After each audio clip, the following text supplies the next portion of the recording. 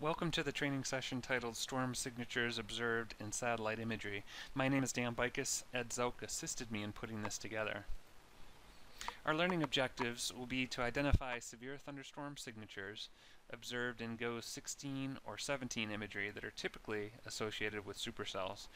These include inflow feeder clouds, lines of towering cumulus above an invigorated RFD, also known as flanking towers, the enhanced V, and outside of this particular lesson will be a standalone training session on above anvil cirrus plumes. The student guide for that training session can be found at this URL. The storm scale signatures we'll be discussing are not new. You can refer to past visit training sessions that discussed storm scale signatures. What is new is that this training session covers examples of storm scale signatures with GOES 16 imagery. These signatures are more readily apparent in the GOES-R era compared to these past training sessions, which looked at imagery from the pre-GOES-R era. The structure of this training session is to go through what you're currently viewing, which we'll refer to as the core training session. Beyond that are optional short training videos, which will consider different types of events over different geographic locations, and will be added to the student guide page as new cases occur. This is a schematic of what a supercell thunderstorm typically looks like from a satellite perspective. The overshooting top appears like this in the visible imagery.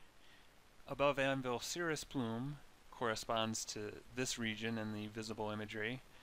If the storm is quite intense, you'll typically have a crisp edge to the anvil cirrus, which looks like this in the visible imagery.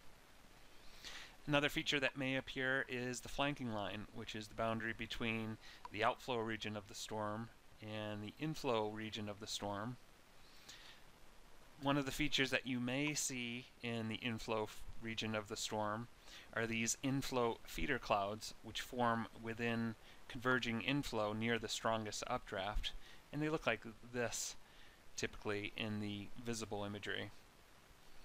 West of the flanking line, you may sometimes see lines of towering cumulus that form above an invigorated RFD, also known as flanking towers, and they may appear like this in the visible imagery. The orientation of the low-level features of interest does vary depending on storm motion and environmental winds. Most severe storms do not exhibit these storm signatures from satellite, However, when you are fortunate enough to observe them, the storm is most likely severe. Now let's discuss inflow feeder clouds with information from this study. First, they're not necessary for severe weather occurrence. Inflow feeder clouds are an indication that a storm is rapidly intensifying and may produce severe weather soon thereafter. If you observe inflow feeder clouds, Keep in mind there's a 77% chance of severe weather within 30 minutes, and if you combine inflow feeder clouds with mesocyclone detection from the MDA, that number goes up to 85% chance of severe weather within 30 minutes. Let's go ahead and look at an example. We see a couple storms that are developing quite rapidly as indicated by the overshooting top and also by the crisp edge to the anvil cirrus that we see on both plumes. And if we look in the southern flank of both storms, we see the development of inflow feeder clouds. If we go to a little bit later in the life cycle of these storms, you can see that uh, both these storms have robust looking inflow feeder clouds with low level clouds moving towards the updraft region of the thunderstorm like so. We see uh, overshooting tops and above anvil cirrus plumes as well with these storms. For the northernmost storm, uh, near the end of the loop, we begin to see outflow on the backside of the storm and a flanking line uh, develop and moving southward. Uh, but with the southernmost storm, we don't see that. We continue to see these inflow feeder clouds uh, to be observed here in the GOES visible imagery. This is Texas and Oklahoma over here from May 16th of 2017. Sometimes cloud streets in the warm sector, like we see over here, can be observed moving into the inflow region of the storm. Note the inflow feeder clouds in the vicinity of the inflow region in this storm and also with this uh, northern storm over here as well. The clouds appear to accelerate as they approach the inflow region. What about inflow feeder clouds at night? We do not have the high resolution visible band available at night, but we do have IR bands. Even though they're lower resolution, they are available. Uh, so let's look at this case from March of 2020 in North Texas. In the upper right is the 10.3 IR band, and the upper left is the nighttime microphysics RGB. Lower left is the GLM flash extent density, and then the lower right is the MRMS composite reflectivity.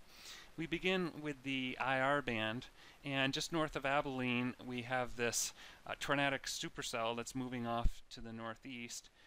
Just east of Abilene, along the southern flank of the storm, we see some low-level clouds develop.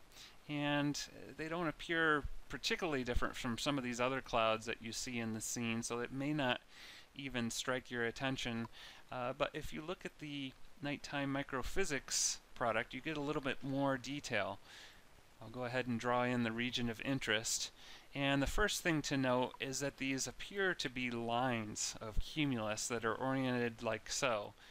The orientation is important because with a stronger region of inflow into the storm, you'd expect the inflow coming in like this, so that these cumulus lines are oriented parallel to the low-level inflow increasing into this storm.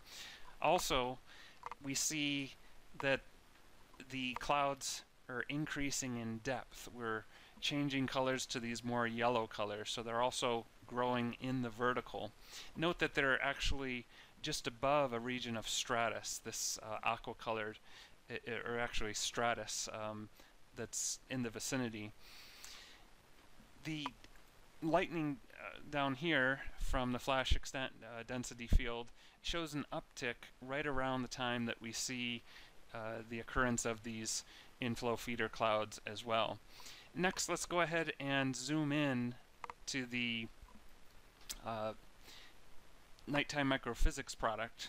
And if we look just east of Abilene, in this region, you can see again the orientation of these indicating that they're likely inflow feeder bands because they're uh, parallel to the low-level uh, wind direction that would be feeding into the storm.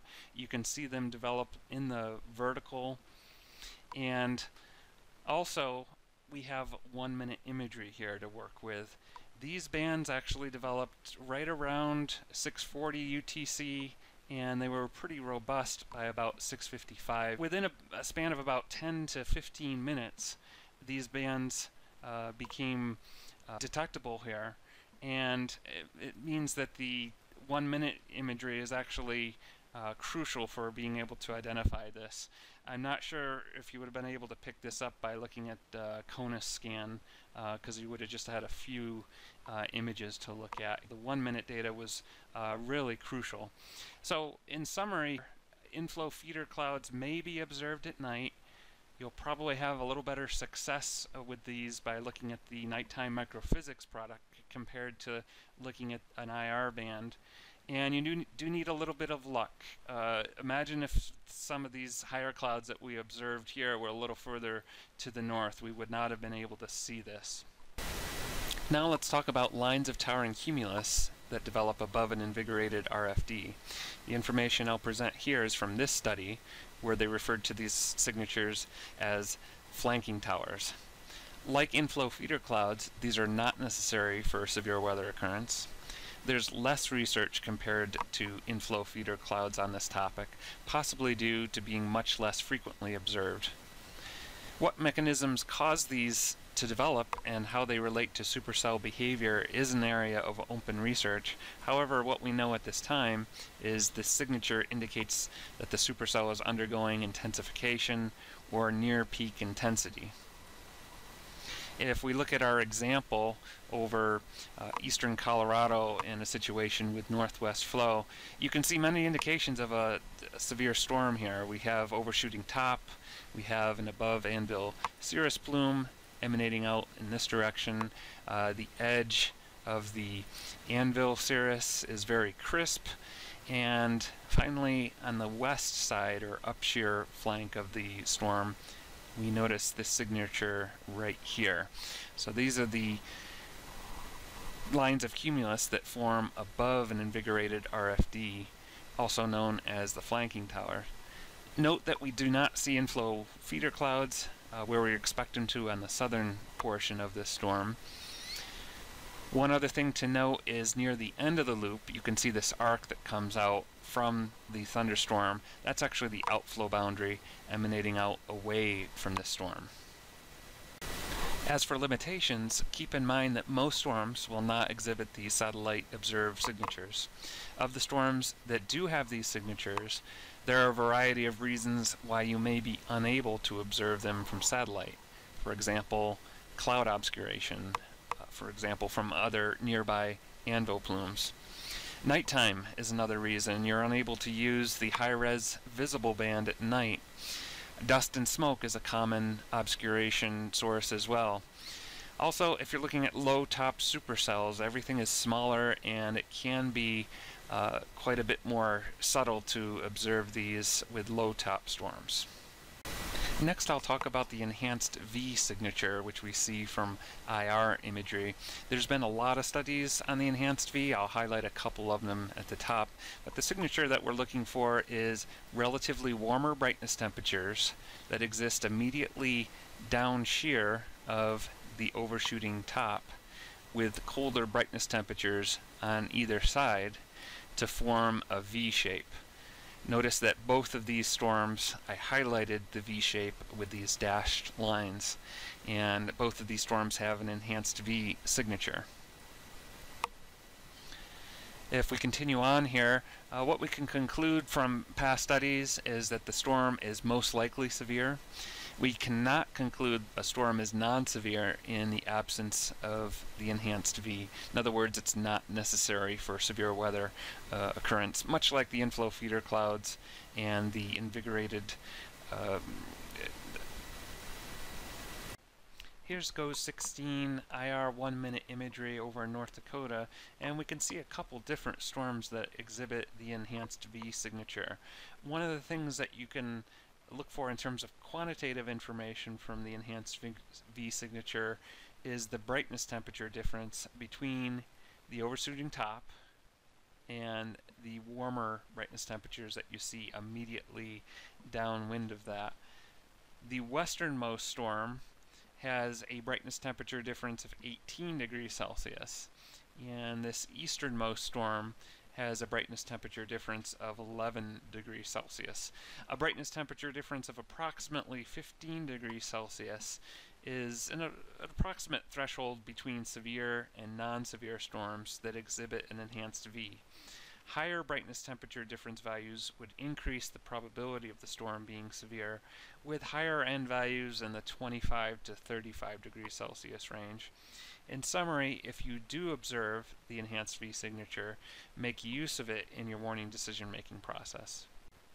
In conclusion, when a satellite signature is observed on a storm, consider yourself fortunate that the feature was able to be observed and integrate this information into your warning decision-making process since the storm is likely severe.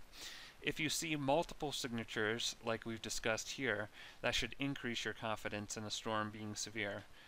When you don't see a satellite signature on a storm, the storm may or may not be severe. We can only conclude that either no storm signature exists or limitations prevent the signature from being observed. Links to optional short training videos covering additional cases will be made available on the student guide page, which also contains all links shown in this training session.